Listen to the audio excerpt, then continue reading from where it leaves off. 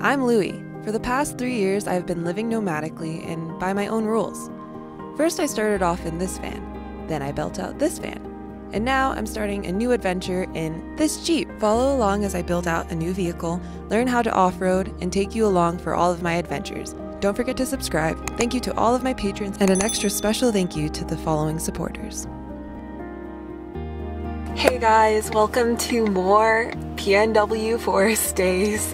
Uh, we are currently in the Willamette uh, National Forest, and yeah, um, it's been really weird not being with my mom. Um, normally, yeah, we're together like all the time, doing stuff together, and yeah, it's been very strange being on my own. But I really feel like through all of this, it's given me a lot of time to reflect and yeah, being alone is really good. and it's given me a lot of time to reflect on what this past year has been and yeah, where I want to go moving forward. And so, yeah, I hope you're enjoying this time in the forest. The PNW is by far one of my most favorite places in the entire world. It's just so lush, so green.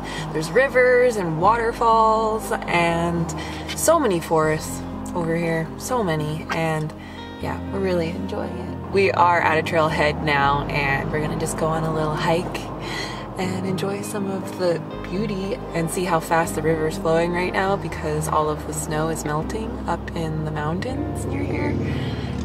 And yeah, that river is looking powerful lately. So thank you for joining me for another video and I'm so happy you're here. And yeah, I hope that this video can be a nice escape from your day-to-day -day life and nature vibes. Let's go on a hike.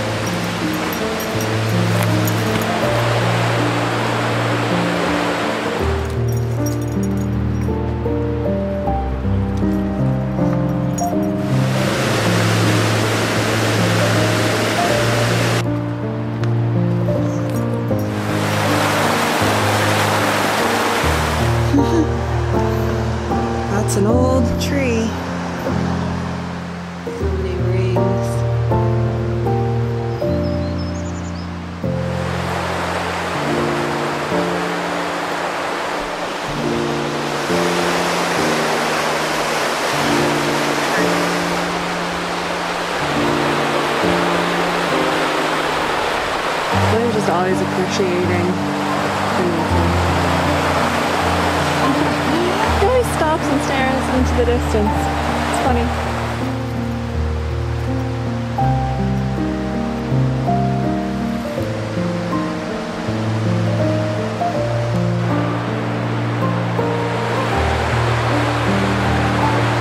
I know it's corny, but when I see some of these trees sometimes, I'm just like, how is it that they have been here for this long. Like, some of these I'm pretty sure have been here for at least 100 years. And, I don't know, I always think about, like, what they have seen, you know? What, how many people have they seen walk on this trail? And, I don't know. It's really cool. Trees are really magical. and they make the air so fresh. yep, that's all I had to say.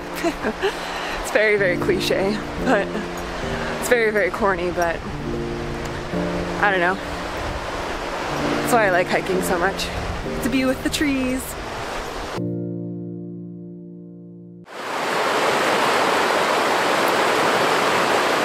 Hey, good morning everyone.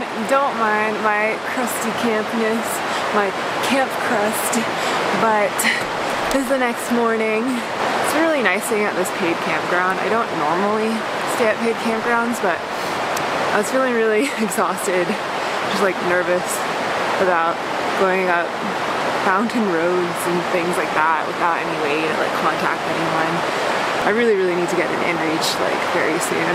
Um, those are very, very expensive, so I'm waiting until I have the funds for that. But yeah, I really need to get an inReach so I can do that stuff and feel safer about it. But came to this National Forest campground and if you have an interagency pass, um, you get 50% off. Um, so it only cost me $20 for two nights here, which in my opinion wasn't bad. I had access to the bathroom, trash can, water, and this beautiful view.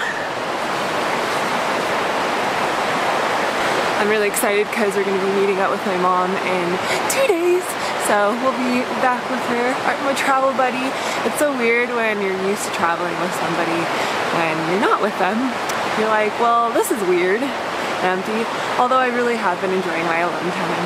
Um, I'm ready to move more north and to get our summer travel going.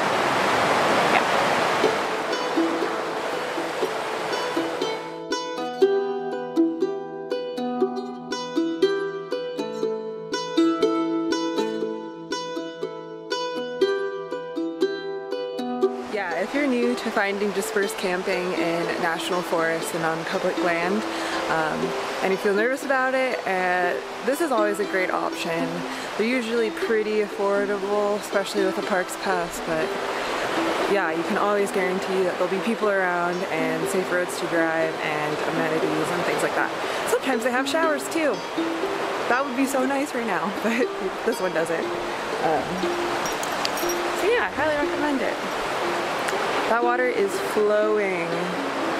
All that snow melt. I want to go river rafting one day. Trash cans. It's water. This is the area. Over there is Eugene, Oregon. You come up all through here, the McKenzie River. And we are here, McKenzie Bridge. But there's a lot of campsites along here. So much beauty. Wanted to go do that hike yesterday, but eh. And there's a hot spring up here, I think, that we're gonna go to today.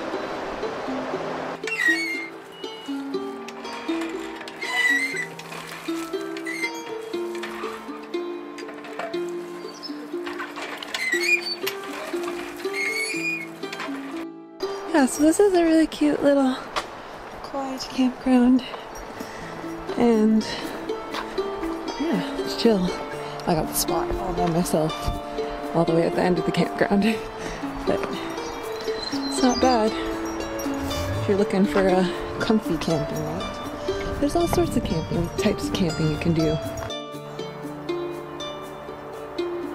So I've been reflecting a lot lately about my almost three years um, on the road, living in vehicles and all of that, and how much I've changed. And I've been thinking a lot of, about things that I, perspective shifts that I've made since getting on the road, and I really wanted to share some of those with you guys because I feel like they're not as obvious as you would think they would be, and that before you get on the road, you might have these perspectives already, but I think over time you have like major life ideal and perspective shifts that you don't usually think would happen and, not to say that this would be like what everybody ends up experiencing but just wanted to share my thoughts on like the things that have really changed for me in my mind. The first thing that I have really learned um, being on the road and living in multiple different vehicles is that you have to have patience. Patience, patience, patience all the time because living in a vehicle, for one, is not easy, obviously. Number two, things don't always go perfectly, and you might not be able to find a spot to park for the night very easily. Or just the fact that, like, everything that you do takes like extra longer when you're doing it out of a vehicle especially this type of vehicle i've noticed um, doing dishes takes extra long. Um, cooking takes feels like it takes extra long because i have to set everything up and all of that. Yeah you also have to have a lot of patience with yourself because some days you might wake up and you're like why am i doing this? And um, be patient with yourself. Really allow yourself to explore yourself if that makes sense. One really big thing for me was a lot of the things that I thought I needed I actually don't need. And looking back at how I started in the beginning and all of the things that I brought with me that weren't necessary, like at all, it's really interesting to see how now I feel like I can live with very little. And I think it's kind of cool that you actually really don't need much at all. And more recently, after doing this cross country trip kind of thing with my mom, I realized that life is very complicated, but it's also very simple. I think seeing how other people live in this country specifically um, can be really interesting. It can really show you that you can live on either side of the spectrum in life. You can live a very simple life where you work just a simple job and you have very little but and be happy or you can live a more complicated life with more money and things and all of that. And I think traveling and seeing how so many different people live and how there's so many different like types of neighborhoods and, and cultures and all, all of that has really helped me see that. And then the last thing that I've really been thinking a lot about recently is that the world is really big, but it's also really small. For example, in this country, it takes time to get from one side to other the other, but the fact that we can do that in a car or a vehicle with like four wheels. People even heck people even freaking bike or walk across the country. The fact that we can do that makes me feel like the world isn't really all that big. I don't know if that makes sense. But then on the other side of that is the fact that you can travel for so long and still not see everything is also interesting. So yeah, it's been a really interesting three years and time has gone by really, really quickly. And it's really, really just interesting reflecting on how much your perspective can change when you put yourself outside of your comfort zone and um, start to do things differently than you have done before. And yeah, I don't know. It's really cool.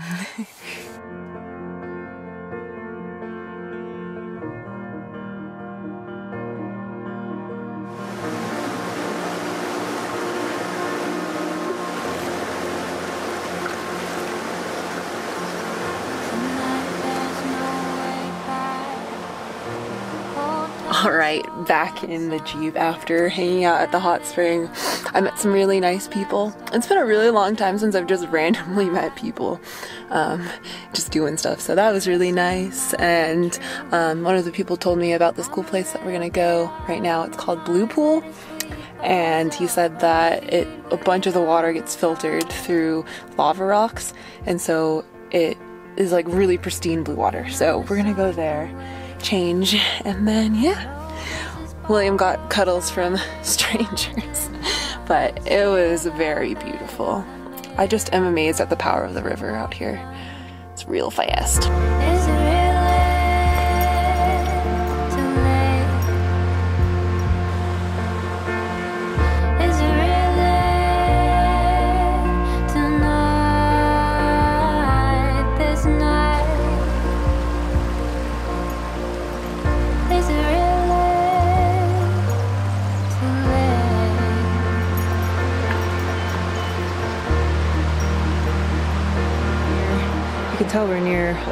Volcanic stuff because look at how porous these rocks are. They're getting more and more porous the higher we go. Oh, it's a little bit too much.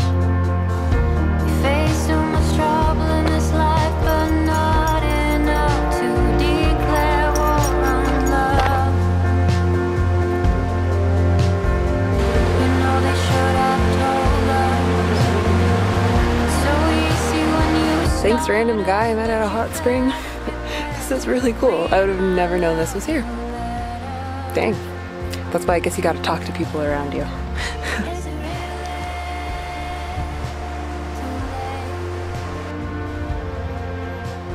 Almost forgot my prized possession of a walking stick. that would have been bad.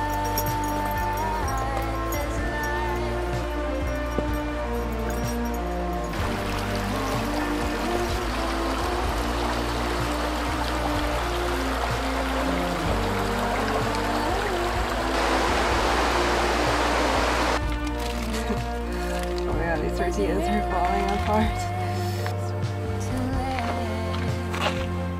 Whew, all right, we are back in the Jeep.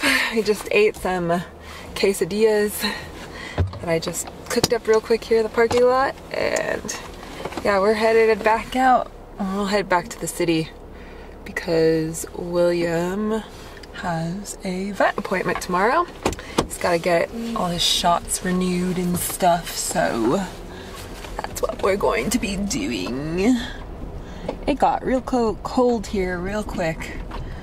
Ooh, I'm ready to turn the heat on and chill out with William and yeah, blue pool, very cool. Definitely was worth the little detour. Um, wouldn't have really been doing anything that interesting anyways, but head back. So I think this is gonna be it for the exploration through this forest for now, um, for the time being, until we come back down south. But chill spot, chill spot.